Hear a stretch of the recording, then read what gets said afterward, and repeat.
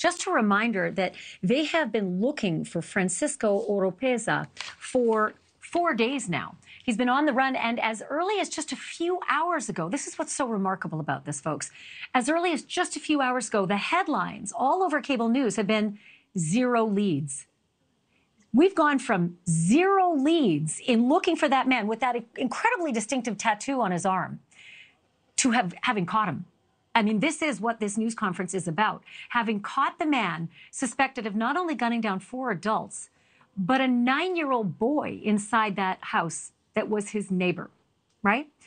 The other fact that may have escaped you, because there have been a lot of manhunts and a lot of news this week, is that two women were found inside that house dead, and they were shielding children underneath them.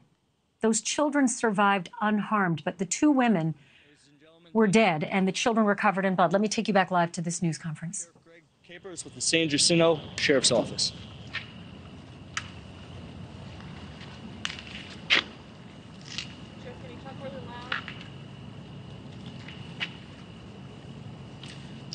Good evening. I'm Sheriff Greg Capers, San Jacinto County Sheriff's Office, uh, with great news. Uh, the suspect is in custody. I have just left Montgomery County Jail where he was taken, and he has been magistrated. He now will be taken to my jail and uh, where his new residence will be.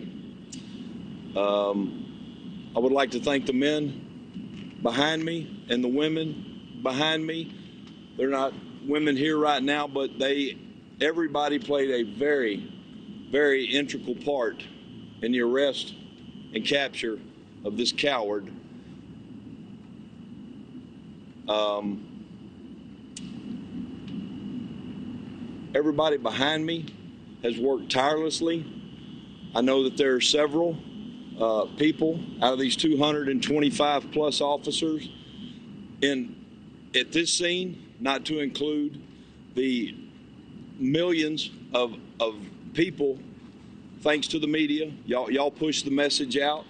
Uh, but we've had calls from Wyoming, Florida, South Texas, North Texas, Oklahoma, Maryland, and those are just a few of the places. We were here, they were there, Bottom line is, we now have this man in custody. He was caught hiding in a closet underneath some laundry. They, were, they effectively made the arrest. He is uninjured, and he is currently being taken to my facility in Cold Springs.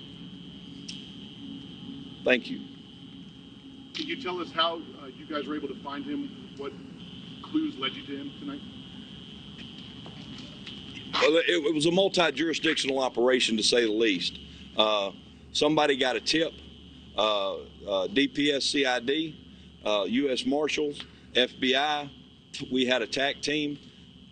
They all meandered over there and uh, found found that that tip to be true. And was this home a relative's home? Did, did he know where he was? That, that's unknown to me. Uh, maybe one of these guys behind me can speak to the actual information on, on, on where how, how he was actually captured. Sheriff, what's your message to the family members, the surviving family members of those people who were killed in this attack? Well, they, they, they can rest easy now um, because he is behind bars and he will live out his life behind bars for killing those five. Sure, guys, we have, uh, we have, hey, guys, we have time for questions afterwards. Sheriff, uh, if uh, ASAC. The ASAC? Uh, yes, please. This is the ASAC. Hey, good evening. Thank you, Sheriff Capers. Uh, my name is Jimmy Paul. I'm an assistant special agent in charge with the FBI Houston Division. Uh, thanks for uh, having me. So, just wanted to say first and foremost, the, the victims and their families are in the forefront of our minds, and we're extremely delighted that the suspect was captured. The tip for the suspect's location came in through the FBI's tip line, and we just want to thank the person who had the courage and bravery to call in the suspect's location. Special Agent Paul, uh, Ted Williams, Fox News. Uh, do, do you know if this individual will be facing federal charges? Uh, currently, it's an ongoing investigation, and uh, he's being charged by the San Jacinto County Sheriff's What is Office. the connection to the person who's harboring Oropesa? Uh, sir, it's an ongoing investigation. I can't comment on that Did at this say point. any, did he give any indication why he did this? What was his demeanor when he was apprehended? Was he agitated? Was he tired? Hey, guys, we're gonna, we're gonna let him get through his statement and the U.S. Marshals, and afterwards we will take questions. Is that cool? Okay, thank you. Uh, I just wanted to thank uh, the person who had the courage to call in the tip, and also I'd like to thank the many FBI personnel and local law enforcement agencies who work nonstop to bring this uh, person to justice, uh, to bring a sense of uh, justice to the victims, and also a sense of security to the community of the San Jacinto uh, County community. Um, I mean, this is basically what we do. You know, we show up, we bring the adequate resources, and then we don't we don't let up. We always said it's not a matter of if, but a matter of when the suspects can be caught, and we're extremely glad that today is the when. Thank you for watching. Go to newsnationnow.com to find News Nation on your television provider. And don't forget to click the red subscribe button below to get more of News Nation's fact driven, unbiased coverage.